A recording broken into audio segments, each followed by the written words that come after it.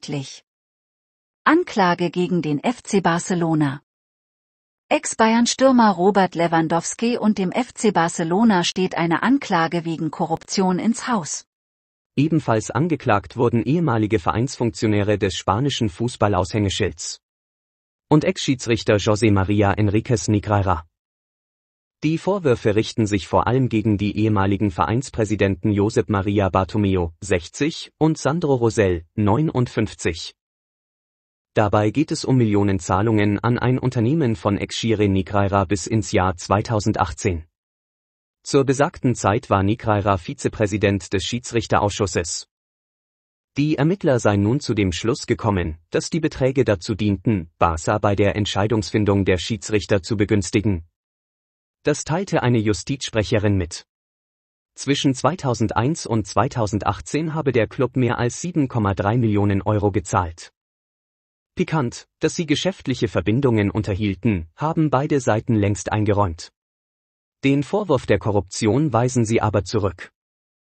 Nach Angaben Nigreiras habe seine Firma Barca vielmehr nur mündlich beraten, wie sich Superstar Lionel Messi und Co. sich gegenüber bestimmten unparteiischen verhalten sollten. Auch der Katalanenclub spricht von normalen Beraterdiensten.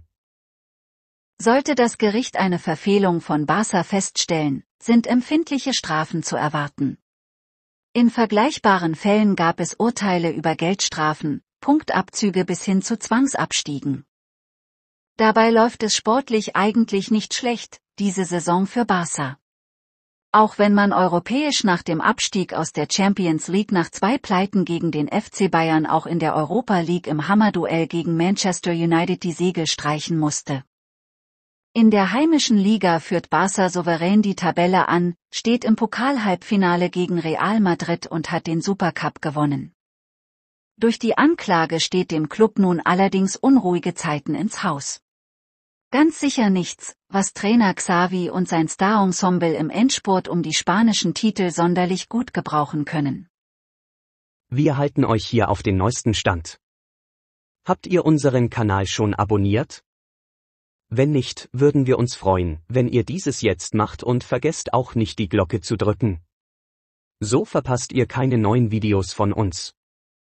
Und über einen Daumen nach oben und ein Kommentar freut sich auch der YouTube-Algorithmus. Thank you.